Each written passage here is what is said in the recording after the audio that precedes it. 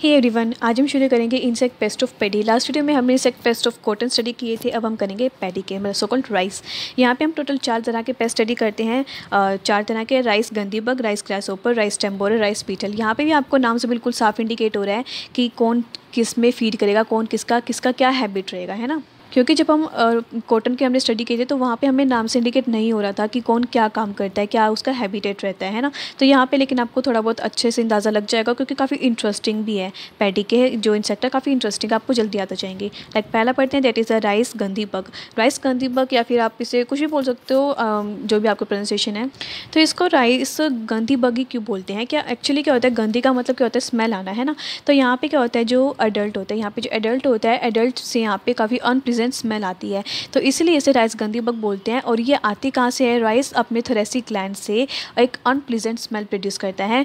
इसीलिए हम इसे, इसलिए हम इसे इस पेस्ट को बोलते हैं राइस गंदी बग ठीक है तो यहाँ पे आप करेंगे class order family distribution food plants general appearance किस तरह का दिखता है? लाइट ब्राउन कलर का होता है। एक चीज़ आपको और नोट करनी है यहाँ पे कि it have four jointed antenna ठीक है, क्या नोट करोगे? फोर जॉइंटेड एंटीना है। लेग्स प्रेजेंट है, वो आपको पता ही है। ठीक है, इसके बाद नॉर्मल डेंस के बाद हम करते हैं हैबिट्स हैबिट्स में क्या पढ़ेंगे?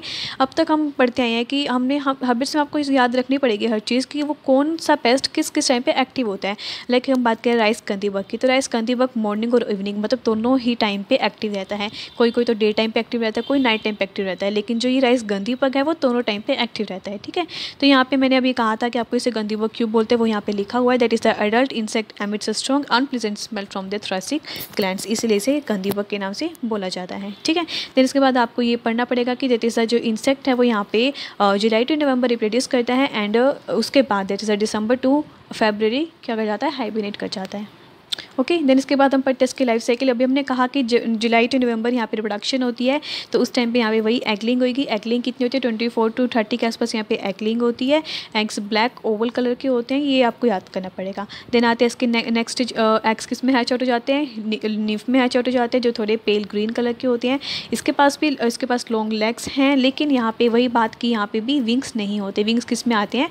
एडल्ट में आते हैं has developed into winged adult ठीक है, इसकी मोल्टिंग आफ्टर मोल्टिंग किस में कन्वर्ट हो जाता है ये एडल्ट में। एडल्ट किस एडल्ट क्या होता है? एडल्ट के पास विंग्स होते हैं लॉन्ग लेग्स हैं एंटीनाज हैं लाइट ब्राउन कलर का होता है नॉर्मल ठीक है? ठीक है देन इसके बाद क्या पढ़ते हैं हम इसके डैमेज के बारे में? डैमेज आपको अभी पता चल गया, जैसे कि हमारे पास नॉर्मली हर चीज़ में क्या होता है नी फॉर एडल्ट डैमेज करते होते हैं। हर जगह बेचारा एक्ट तो नहीं करेगा ना ऑब्वियस है।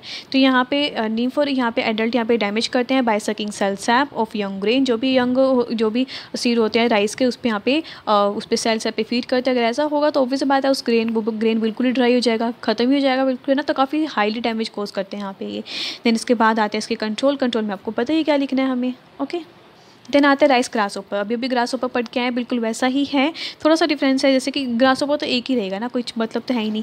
तो जैसे कि class order family distribution and food plants बस वही, इसके बाद जनरल अपेयरेंस में क्या लिखेंगे? वही ग्रीनिश येलो कलर का होता है नॉर्मल है भी। हैबिट्स में क्या पढ़ते हैं? हैबिट्स में आपको यहाँ पे याद रखना है कि ये एक साल में एक ही बार ब्रीडिंग होती है एक ही बार ब्रीड करता है। देन इसके बाद एक चीज़ याद देखेंगे कि यहाँ पे जो मेल होता है मेल आफ्टर कॉपुलेशन डाई कर जाता है and female after egg laying die कर जाती है। एगलिंग मतलब ओवी पोजिशन ठीक है ना? तो यहाँ पे मेल आफ्टर कॉपुलेशन डाई करेंगे and female after oviposition die कर जाती है, ये आपको याद रखना पड़ेगा। एंड एक बात और, यहाँ पे जो जो ग्रास होते हैं, वो आफ्टर रेनिंग हमें देखने को मिलती हैं, ठीक है? आफ्टर रेनिंग ही हमें ज़्यादा देखने को मिलते हैं ये ग्रास ठीक है? राइस ग्रास देन इसकी लाइफ साइकिल बात करते हैं। लाइफ साइकिल में हम क्या करते हैं? वही, हमारे पास वही स्टेजेस आते हैं। That is the egg nymph and adult एक चीज़ यहाँ पे आपके लिए एक थोड़ा सा न्यू टर्म आपको देखने को मिलती है। यहाँ पे हमने कहा कि जो एक्स होते हैं एक्स यहाँ पे थर्टी टू फोर्टी के आसपास यहाँ पे एगलिंग होती है। यहाँ पे एक डिफरेंट चीज़ क्या आती है कि यहाँ पे जो अपनी एगलिंग होती है इनकी ग्रास ऊपर की, वो एक फ़ील्ड बंड्स के अंदर होती है। किसके अंदर? फ़ील्ड बंड्स के अंदर। फ़ील्ड बंड्स आखिर होता क्या है? अब हम बात कर रहे हैं कि राइस की राइस की बात करें पैडी फ़ील्ड की बात कर रहे हैं तो हमें पता है कि राइस के लिए काफ़ी ज़्यादा अमाउंट में वाटर चाहिए होता है है ना? तो ऐसे केसेस में सॉइल इरोजन होने का भी खतरा ज़्यादा रहता है, क्योंकि जिस जगह ज़्यादा पानी होगा तो ऑब्वियस बात है, वहाँ पे सॉइल इरोजन का चांसेस भी काफ़ी ज़्यादा हो जाते हैं ना?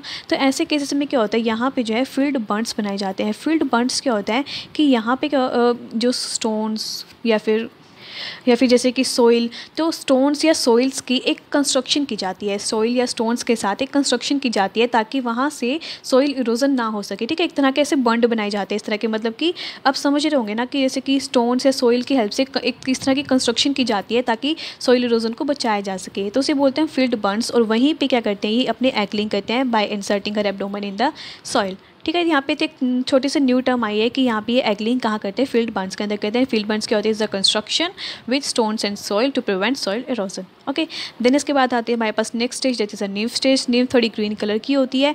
हाँ एक टर्म और यहाँ पे न्यू आती है that is the voracious feeder voracious feeder का मतलब क्या है? वोराशियस मतलब नाम से इंडिकेट हो रहा है कि एक ऐसी फीडर मतलब कि काफ़ी लार्ज को लार्ज क्वांटिटी ऑफ़ फ़ूड पे फ़ीड करते हैं तो उसे बोलता है वोराशियस फीडर ठीक है? मतलब जो काफ़ी काफ़ी ज़्यादा खाना खाए तो उसे बोलता है वोराशियस फीडर तो यहाँ पे जो न्यू होते हैं, वो एक तरह के वोराशियस फीडर होते हैं। ओके विंग्स इसके अंदर नहीं होते देन एडल्ट एडल्ट में विंग्स आ जाते हैं। बस आपको याद रखना है एडल्ट में विंग्स आ जाते हैं एंड ग्रीन कलर का होता है एंड बाकी आपने पढ़ लिया जनरल पीएस के अंदर कि यहाँ पे मेल आफ्टर कॉपरेशन डाई करते हैं female after oviposition die कर जाते हैं। ठीक है? देन इसके बाद आते हैं हमारे पास डैमेज अभी हमने कहा पढ़ भी लिया अभी कॉटन के अंदर भी, कि मोस्टली जो है ये ग्रास ऊपर जो है लीफ पे लीफ पे फ़ीड करते हैं ना? तो यहाँ पर भी मेन डैमेज एडल्ट और नीफ कोज करते हैं by feeding on the leaves या फिर शूट्स या फिर जो भी न्यू न्यू भी, जो भी न्यूली बर्ड्स वगैरह आते हैं, उन सब पे फ़ीड करते हैं। तो यहाँ पे हमें नॉर्मल हम, यहाँ पे कभी कभी क्या होता है कि इतनी ज़्यादा, अभी हमने कहा कि एक तरह का वोराइशियस फीडर है, काफ़ी लार्ज क्वांटिटी पे फ़ीड करते हैं।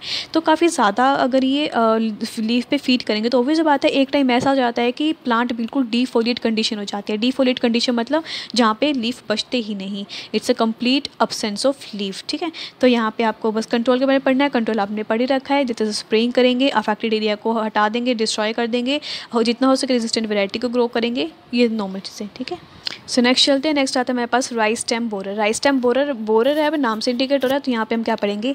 मोथ को स्टडी करेंगे, ठीक है?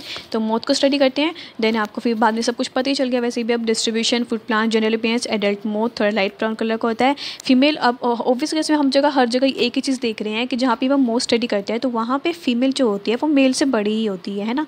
तो बस ये नॉर्मल चीज़ें आपको पढ़नी पड़ेगी. हैबिट्स हैबिट्स आपको पता ही क्या होते हैं? ये नॉक्टर्नल होते हैं. यहाँ पे मेन डैमेज कौन कोस करता है? Caterpillar by boring into this time क्योंकि इसके नाम सिंडिकेट और रहा है बोरर ठीक है?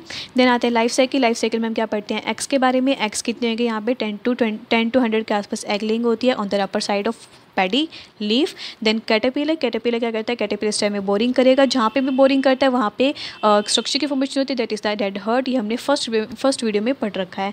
देन ये किसमें कन्वर्ट हो जाता है? किसमें converted into pupa stage pupa stage किसमें कन्वर्ट हो जाती है? एडल्ट स्टेज में। एडल्ट स्टेज जहाँ पे भी इसने बोरिंग की थी, वहाँ से एडल्ट बाहर निकल जाता है। मेल कैसा कलर का होता है? लाइट ब्राउन कलर का होता है। Female sorry yellow straw colour की होती है। एंड फीमेल मेल से बड़ी होती है। सबसे ज़्यादा यहाँ पे लिख सकते हो, जो कि अभी हमने जनरल अपेयरेंस में लिखा है।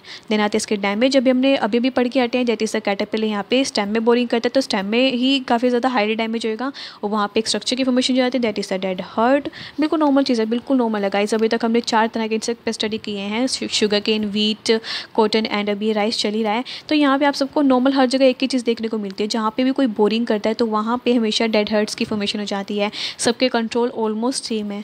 है ना? सो नेक्स्ट आता है हमारे पास लास्ट पेस्ट आता है राइस का that is the rice beetle तो राइस बीटल को जो है धान का हिस्पा भी कहा जाता है। देख लो आपका इस तरह का दिख रहा है ना? कितना ड्रावना दिख रहा है। तो इसके बाद हम पढ़ते हैं इसके लिए लाइफ साइकिल लाइफ साइकिल में क्या करते हैं? बाकी तो आप पढ़िए लोगे ना कि जनरली बेस किस तरह का दिखता है उसका हैबिट्स क्या है?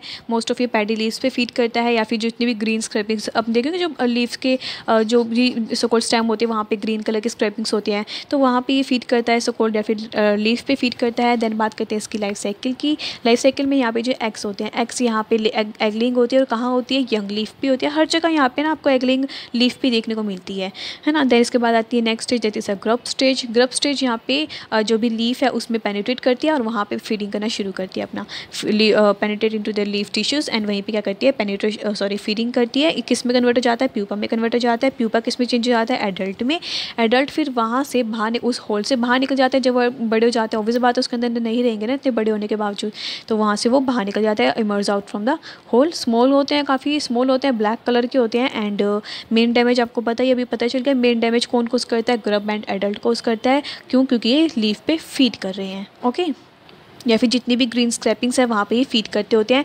तो भी सब आता है काफ़ी हाईली डैमेज कोस करते हैं। देन इसके बाद कंट्रोल कंट्रोल आपको पता ही है कि जहाँ पे भी हमें ये बीटर्स दिखे उसे हम कलेक्ट करें एंड उनको किल कर दें, या फिर जितनी रेजिस्टेंट वेराइटी ग्रो कर सके, ज़्यादा अच्छा रहेगा।